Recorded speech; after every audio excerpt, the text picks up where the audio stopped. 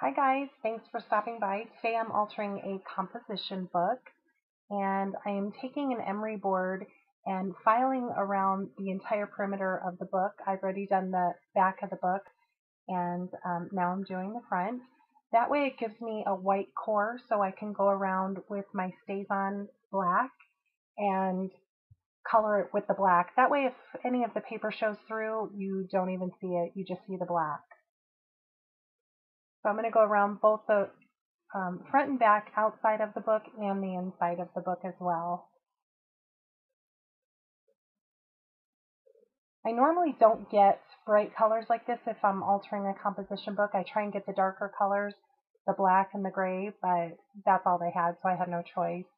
So I just took my time and made sure to um, file off the edges so you don't see it.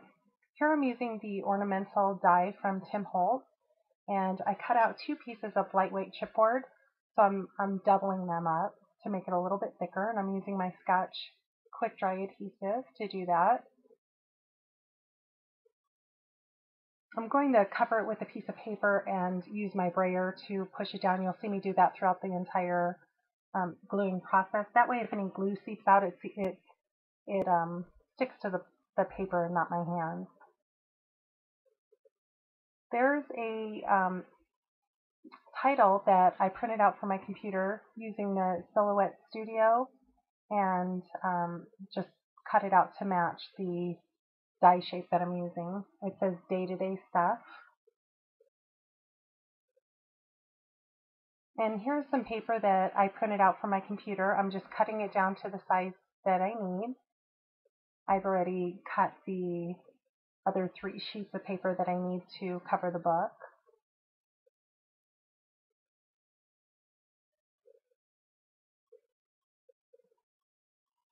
I'm going to use my quarter inch corner punch and later I realized that I need to use the half inch side so I'll fix that later but right now I'm using the quarter inch side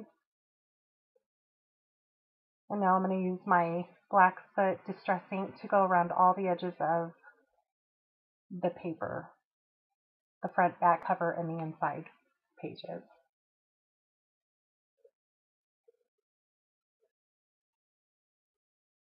And I also go around this die cut shape, give it just a little, a soft black edge so it stands out from the paper a little bit more.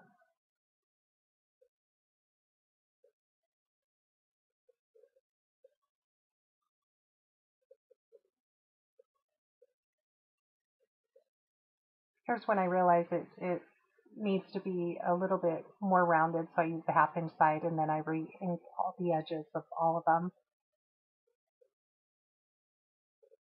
I'm using the Scotch Quick Dry. I've um, I've done a lot of these books and I've used all different types of glue, Mod Podge, um, Fabri-Tac, uh, ATG, tape runners, glue stick, and I have found that the quick dry works the absolute best without warping your paper. And when you're covering the inside, you don't have a lot of time because it's paper against paper. When you're gluing the paper to the outside of the composition book, it has a glossy finish, so you can move it around a little bit more. So when it comes to the inside, you kind of want to get it um, pretty much right where you want it. Um, you have a little time to adjust it if you need to. But I, I make sure to go around the entire sheet of paper and definitely right up to the edge. Again, I use my scrap piece of paper and just that way if any glue seeps out, which it usually does, it doesn't make too much of a mess.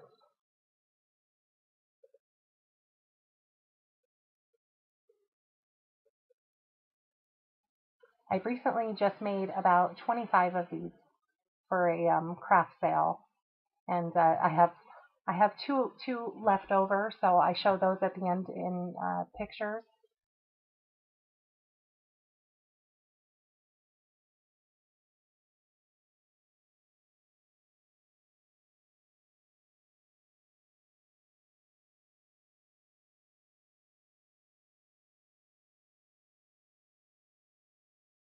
I just want to make sure to go around all the edges to make sure I got glue on all the edges so it sticks down.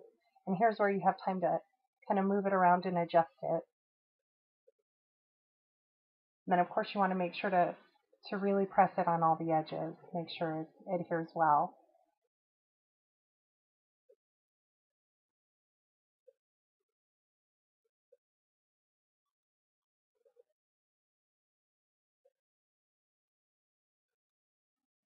I then go back around the outside and inside pages with the black soot just to make sure if there's any white showing it covers up and it looks finished. The dress form I cut out from the Cameo. I'm using a spray adhesive to adhere that down. I think the brand is Duro. I picked it up at um, Michael's.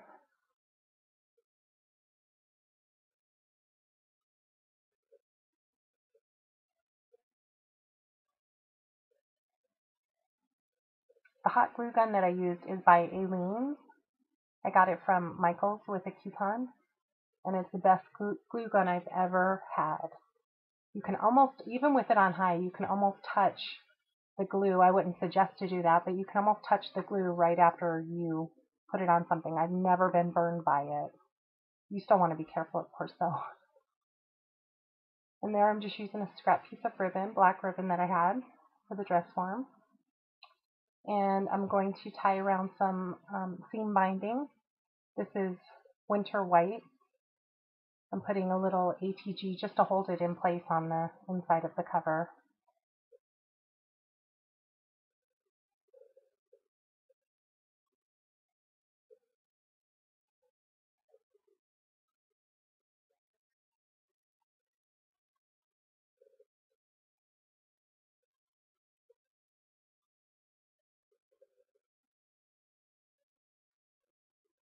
I'm using my tweezers just to hold it while I put a knot in it so it holds it tight.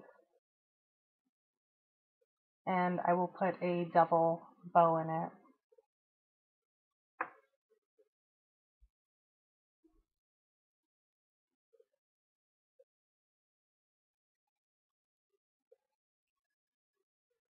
I'm adding some more of that um, trim that I got from the wedding department in uh, Michael's with my hot glue.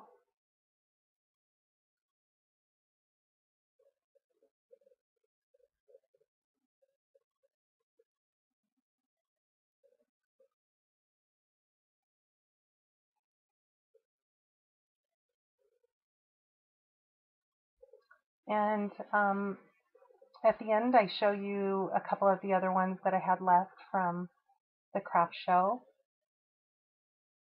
So I hope you enjoyed this. Um, if you have any questions, please let me know. I'm going to be adding some pearls here with their, by recollections, they're flat back pearls. And I like to use glossy accents under them just so I don't have to worry about them coming up in any way. So thanks so much for watching and I hope you enjoyed.